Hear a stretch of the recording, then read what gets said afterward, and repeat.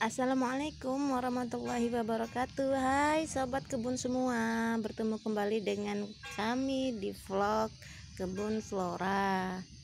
Hari ini kita akan sharing dan berbagi informasi sedikit uh, Tentang si cantik dan eksotis ini Cryptanthus. Oke kita sedikit berbagi informasi yang kebetulan kita tahu Yaitu tentang taksonomi Cryptanthus ini sendiri. Cryptanthus ini berasal dari bahasa Yunani yaitu dari kata cryptos dan antos. Cryptos itu sendiri berarti tersembunyi, sedangkan antos berarti bunga. Jadi Cryptanthus ini sendiri adalah bunga yang tersembunyi.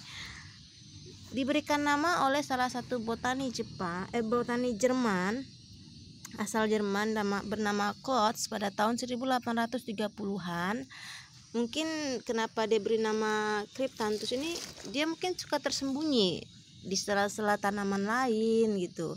Jadi diberilah nama bunga yang tersembunyi.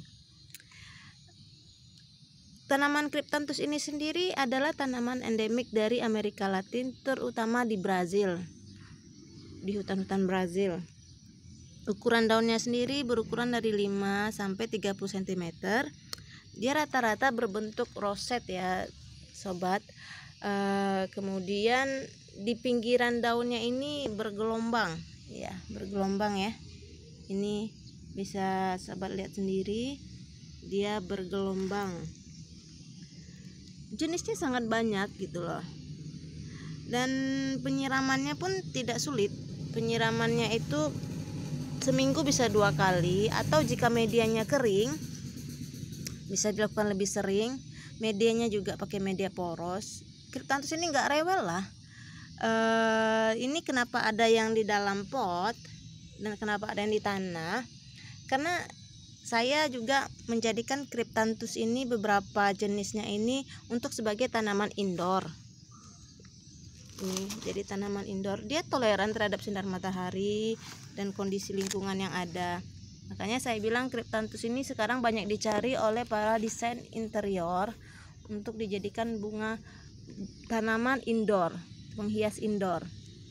Adapun kenapa saya di luar ya karena saya juga ingin berbagi sedikit tentang Cryptanthus saya yang saya tanam di tanah gitu loh e, beberapa Cryptanthus yang ada di kebun flora ini sendiri jenisnya ada gypsy rose si cantik ini bentuknya hijau pinggirannya kuning kemudian ada ruby star ada pink starlight ada earth star yang saya tanam di tanah ini kemudian ada elaine dan ada kelas zonatus ada zonatus zebrinus zonatus 50 shade of grey ada ya beberapa yang saya juga tidak tahu namanya.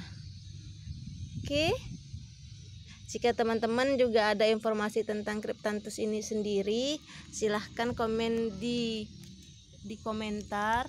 Dan saya minta bantuan dan saya minta bantuannya untuk subscribe channel kita ini sehingga kita lebih semangat untuk membuat vlog-vlog berbagi informasi tentang flora-flora yang ada di sekitar kita.